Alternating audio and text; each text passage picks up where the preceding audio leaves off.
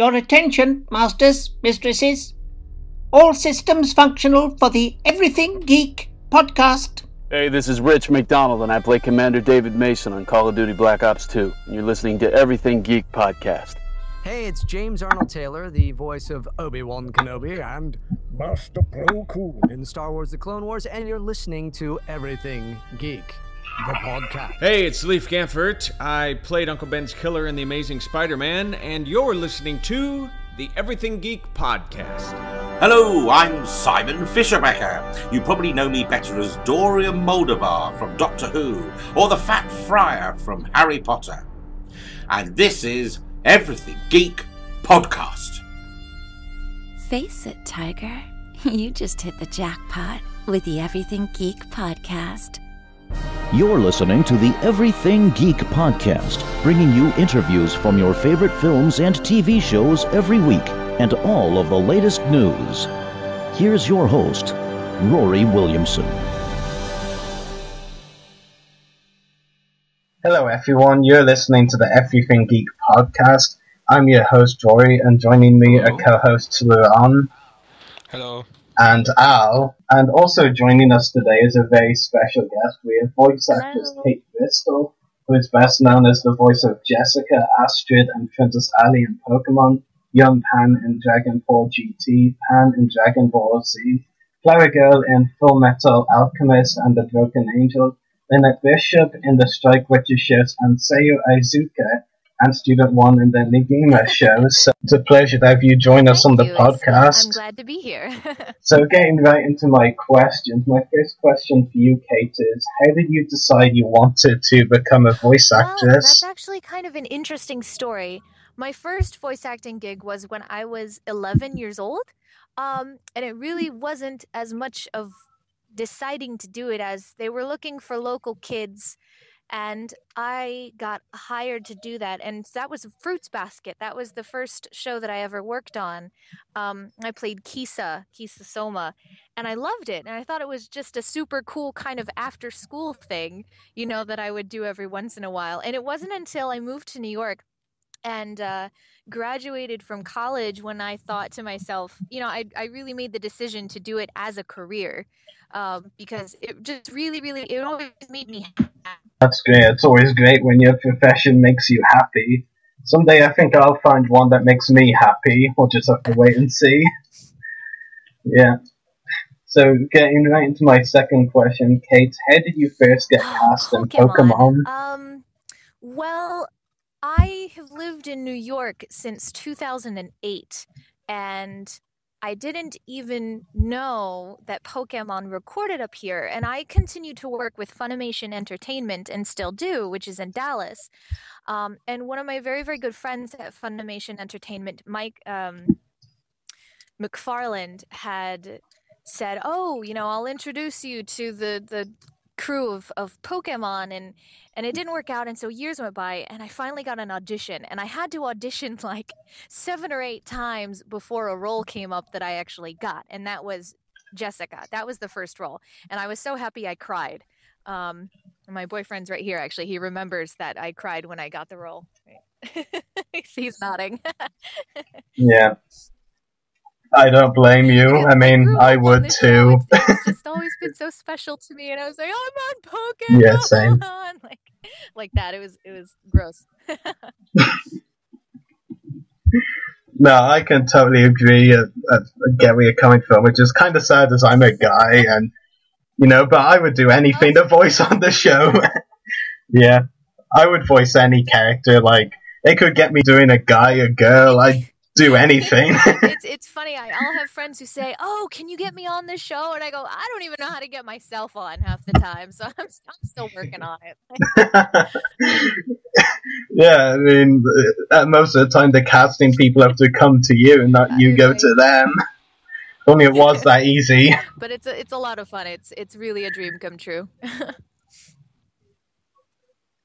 Definitely, I can imagine. So my third question is, what has it been like voicing different types of characters on Pokemon, like Jessica, who can be described as a kind and caring girl, Princess Allie, a girl who likes to get what she wants. There's a certain word I won't say for girls like that, but anyway.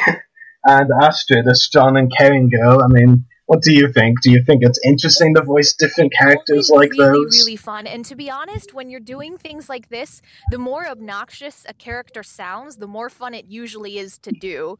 Um, so Princess Allie was a lot of fun. Super, super mean. You know, definitely the word you're thinking of. Um, just No, it wasn't, No, but it actually is along the lines. I'm, I'm mostly not saying it either. It's probably a family-friendly uh, show, but um, Sometimes. It's it's it's always fun to play a wide variety. Um, it's it's good to avoid uh, typecasting, um, which is always good because for a long time I always was just like Jessica, like very very sweet girls, and it's fun to play either you know crazy or obnoxious people or boys. uh, You know, it's fun to play a variety.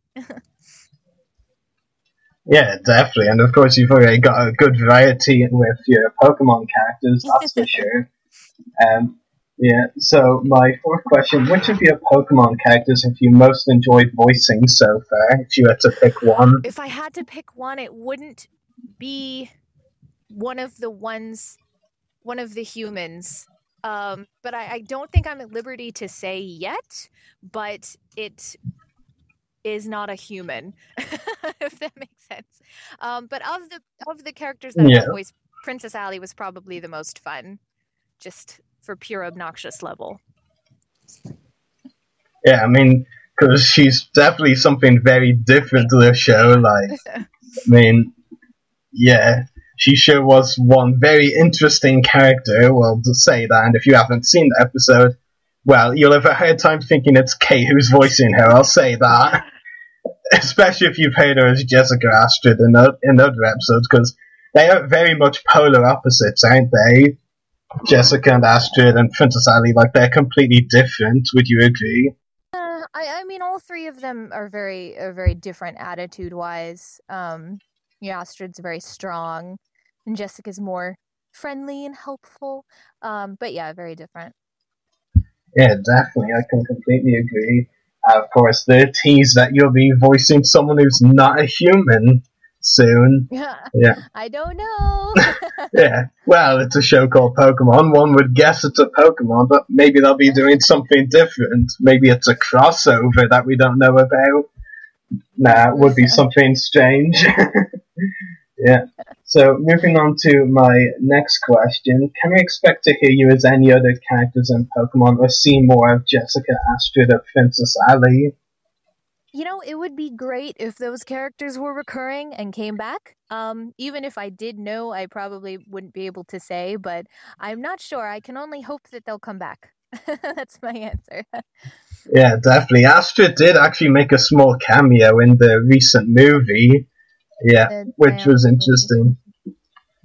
Yeah, that, that sure was an interesting cameo, and she even got the Bonnie treatment, as we call it, I guess. No, Just a little, right. yeah, it's actually a good name for it now. I'm not sure I've heard it called Bonnie treatment before, so now I'm copywriting that. yeah. well, that was pretty funny in all fairness. Um, so, moving on to my next question. How did it feel to voice young Pan in Dragon Ball GT and later reprise the role of Pan in Dragon Ball Z? Did you notice much of a difference between working on the two shows? You know what? This is going to sound terrible, but I honestly was very, very young when I did Little Pan. Um, and I don't remember very much. Um, so I wouldn't actually, I'm not good at talking about any of the Dragon Ball stuff just because I I was young. I want to say I was 12, 11 or 12 when that recorded. Um, but that was the first project I worked on with Mike McFarland and we've been, you know, we've been bros ever since. Uh, that was a lot of fun, but as far as the show itself, I I don't remember quite what was going on because I wasn't really familiar with uh, the Dragon Ball franchise uh, when I was a kid, but I remember thinking it was fun. Well, at least if you remembered that a bit, that's always a good sign. yeah. My I, I'm, I wish I knew more. I'm sorry. That's fine, don't worry about it. I mean, I don't know much about Dragon Ball myself, I just threw that in for their fans. yeah. So, moving on to my final question, do you have any upcoming acting roles or any other projects you would like to talk about? Um, well, there's um uh, a while back, a couple months ago, I recorded a really cool role for a project. It's kind of like a like a mixed media project so far. It's called Column, and it's about uh, tank drivers in like a dystopian kind of universe, like a World War III type situation. And I play a, a Chinese tank driver, and um, that that was a lot of fun. And that's going to be a really interesting project. So if you look up Column um, about tank drivers, and they're like little chibi females and they're really cute, but it's it's very uh very foul. I got to be very foul mouthed in that, which is always fun. Um, so that that's an upcoming project that's going to be really cool. And um, other than that, um, I think that's the only one I can talk about. So unfortunately, uh, but there is some cool stuff coming up that I'm very excited about. Well, be sure to keep an eye out for those then, and any more announcements on projects for you so thank you very much for answering all of my questions, Kate. I'll let my co-host Lawron ask his now. Of course. Yes, uh, a few questions here for you. My first question for you is, uh, which has been your favorite project to work on and why? Uh, you mean out of all the projects I've ever done, voice acting wise? Out of all the projects you've ever done, the question's a little broad, but yeah, out of all of them. Um, no, I definitely have an answer for you. Well, Fruits Basket has a very, very special place in my heart because it is the first thing I ever worked on. Um, and Pokemon also has a special place because it's Pokemon and I have loved it since I was a kid. Um, but I have to say, I think my favorite thing to work on was Strike Witches. I loved the show, you know, even the blatant fan service, as we should call it. Um, I, I loved it. I just I had a blast working on it. I, I worked it uh I worked on it over a summer, like between high school and college, and it was just a blast to work on the director and the sound engineer. I just remember having a blast on that. Awesome. Well, uh, my next question for you is: If you could work with any voice actor or actress in the future of your career, who would it be?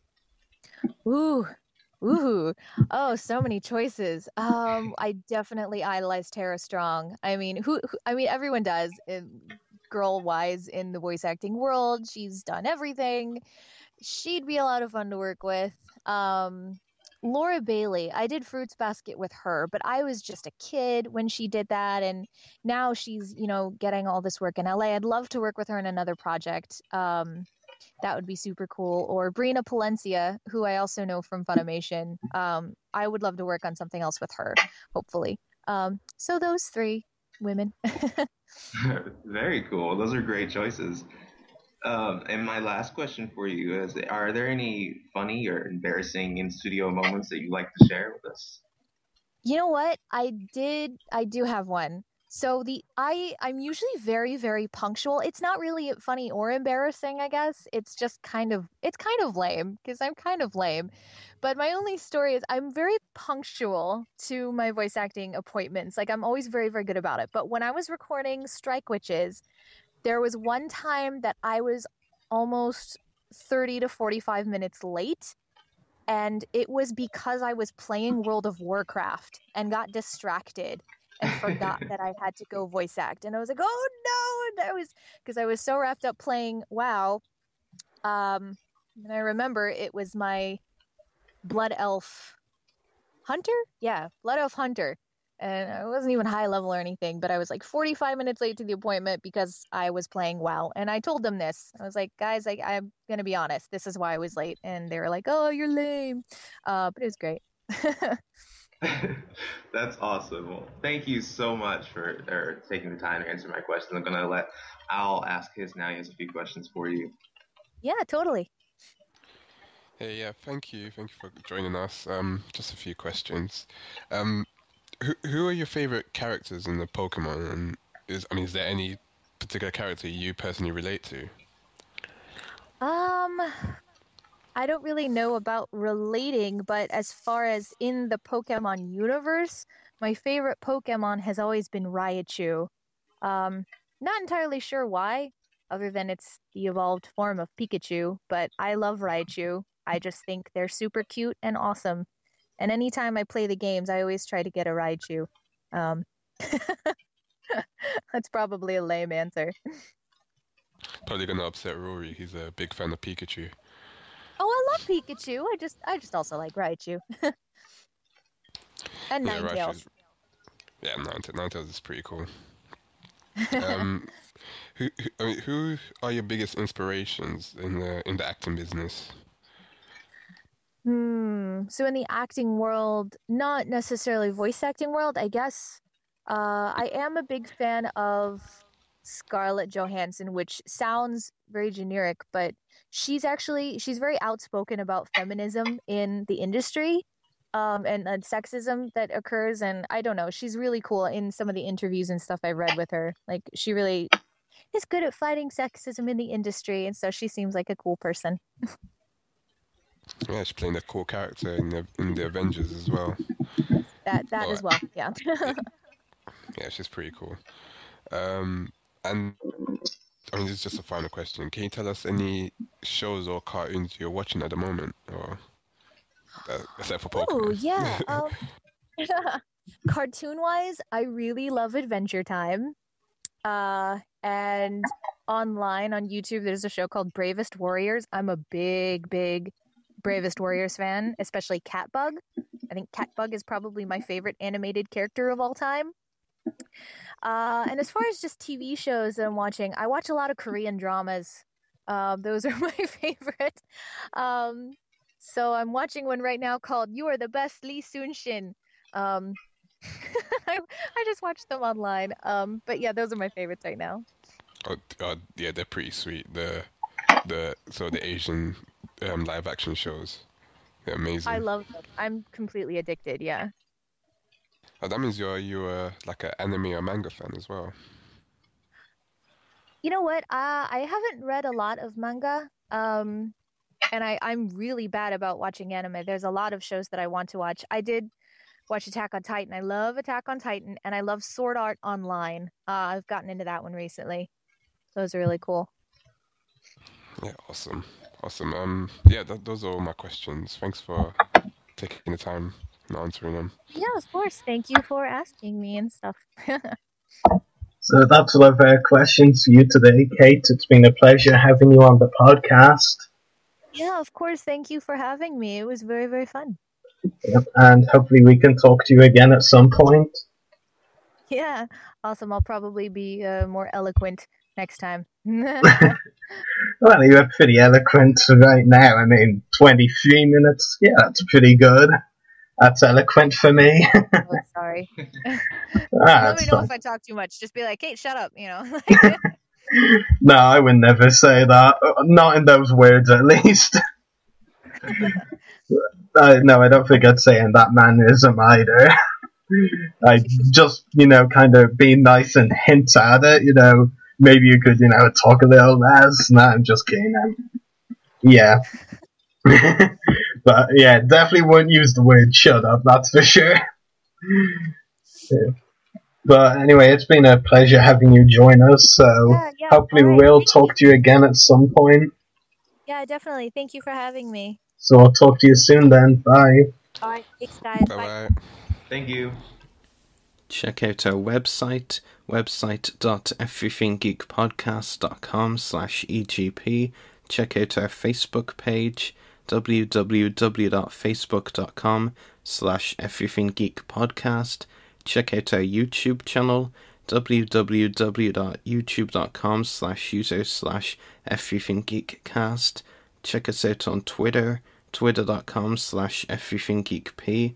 Check us out on Instagram, instagram.com slash official everything geek podcast. Check out our Mixcloud profile, www.mixcloud.com slash everything geek podcast. Email us at the following email, everythinggeekpodcast at gmail.com. Check out our companion podcast, Everything Geek Comic Cast, www.facebook.com slash Everything Geek Comic Cast. Make sure to check out the host's YouTube channels. Mine is www.youtube.com slash user slash Sepidus Destroyers. Is www.youtube.com slash user slash starlegend9595. Check out Al's Twitter, twitter.com slash mygirma. Check out Kate Bristol's website, www.katebristol.net. And check out Channel 138 where we broadcast live from www.channel138.com. Geeks out, everyone. Well, in general, I would say just getting to do all of like the staples. I mean, I got, I got to catch a Pokemon. I got to, you know, have a battle with Ash and, and Dawn, actually, which were alongside uh, Lyra, played by the fantastic. Um, uh, we were both doing. He liked what I was doing. He asked if I was available to come and audition for uh, a role the next day, and I came in and auditioned. And my first part was uh, I took over Jasmine uh, a few seasons back.